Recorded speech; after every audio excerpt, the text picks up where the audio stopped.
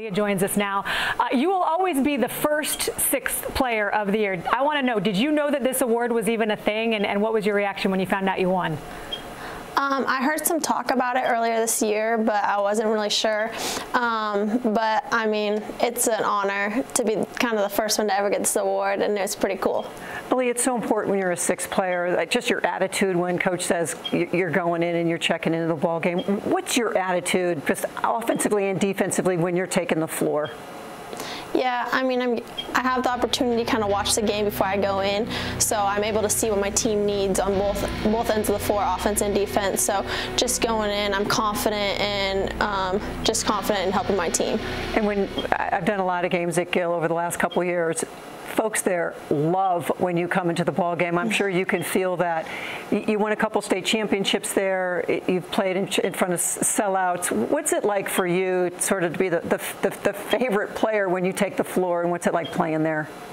Yeah, Gill's kind of been home to me. Obviously, having my state tournament um, in Gill Coliseum, I've played there a lot before I even um, got to Oregon State. But uh, Beaver Nation just makes me feel like family. It's so much fun playing on that floor and having um, kind of just your extended family out there supporting you. Well, you had your biggest game of the year on the biggest stage at Gill. You dropped 22 in that huge upset of Oregon. I remember you forced that turnover late in the game that sealed it. You got national recognition that week from ESPNW as their player of the week. What, what was that whole experience like for you? And did you, did you hear from a lot of people? Did they come out of the woodwork?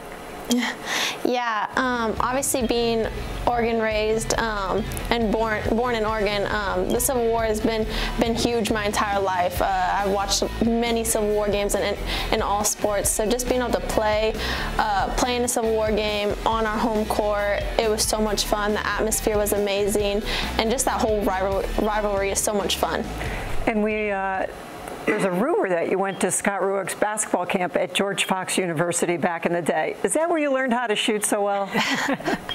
yeah, uh, um, both my parents went to George Fox, so I grew up going to George Fox games. Um, I went to many summer camps that Scott um, coached at, so yeah, I, I've had a good relationship with Scott. Yeah, he's been coaching you up for quite some time, it sounds like, and it's certainly paying off. Well, congratulations on being the sixth player of the year. We're excited for you. You get the winner of Utah or Washington on Friday in Vegas. We will be there, and we are looking forward to watching you in the Beavs. Yes, thank you.